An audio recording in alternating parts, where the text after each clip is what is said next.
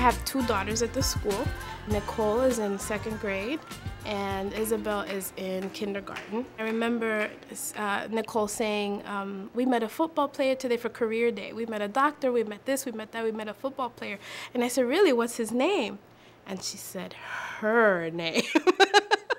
and Nicole goes, girls can do anything, anything that, you know, that boys can do. We can do it too. Come on up, show us what four looks like. I want to be a chef, a teacher, and um, a designer. I really want to be um, a ballet teacher. I want to be a doctor and a nurse. Oh, I want to be a veterinarian and a doctor.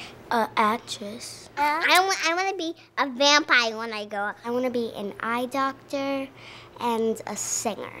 I want to be a fat doctor because people have fat inside them and I want to take it out. I want to be a dancer. Our students don't feel as if they're limited by anything, and I think a large part of that has to do with the fact that our classrooms are named after women who have achieved great things. Mae Jemison, first African American woman to go into space, Billie Jean King, and these are people that are part of their everyday. When I grow up, I want to be a teacher. I want to be a teacher. A teacher when they go home and they play and they want to be their teacher. That's who they you know that's that's who they act like. And that's how you know when your when your daughters are being treated well and they know that they're loved? On the first day of school i was so happy. I was thinking who was going to be my teacher? They're really special to us and they help us learn new things. And without them we couldn't be this smart right now School, you get to be smart a lot. You get to like be a star and you get to do fun stuff. When I learn something in school, I like just lock it in my brain so I could go home and tell my grandma and my mom. We really see parents as our partners in making sure that students are successful at school.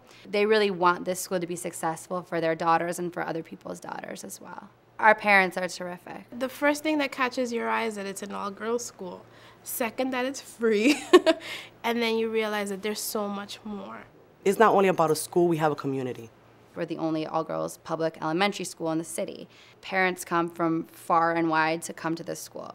So although we do have a lot of families that come from the Lower East Side and they can walk and it is convenient, we also have families that come from Staten Island and the Bronx, and it takes them maybe an hour and a half, sometimes two hours to get to school. So I have to wake up about I don't know, maybe four or five o'clock in the morning. I wake up at six o'clock in the morning when it's still dark and the sun didn't even get up yet. It's really morning, but it's dark. My mother has to drive over three bridges. I take the L train and I get off at First Ave and then I take the M14 and it stops at the school.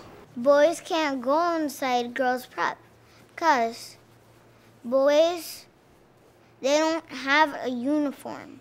It's only supposed to be girls in the school, not, not boys. Not boys. Girls prep means only girls can be allowed. The impact of the all girls environment is astounding. It really is. To watch an all girls class, it's just it's it's it's just different from the way boys interact. We need to encourage them to have their voice and to sort of try and break some of those natural habits that, that girls have to be quiet and docile. One, two, three, four. Boys make noise and then we can't really concentrate.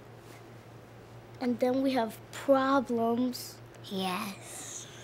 Girls concentrate on their homework instead of like all toys and games and video games and all that stuff.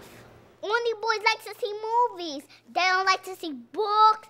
They stomp the books on the floor. Not they throw books on the ground. I have a brother at home, and he gives me a lot of stress, and then he gets me in trouble, so it's easier to learn because they don't get me in trouble. Uh, um, girls don't get me in trouble as much as boys do. When you go to girls prep, you really think that it, you were meant to be in the school. The fastest runner, the best at math, the everything will always be a girl. So they're always, you know, there's always a girl that we can talk about that did, you know, something that went beyond and above. You know, if they go on to co-ed high schools, I know that they're going to bring that confidence with them and that knowledge, you know, and that, that authority that they have. I think Girls Prep is like a famous school because it's so fun and you get to do a lot of fun stuff. My mom and dad thinks that I should stay in this school, and I should. This is a really cool school.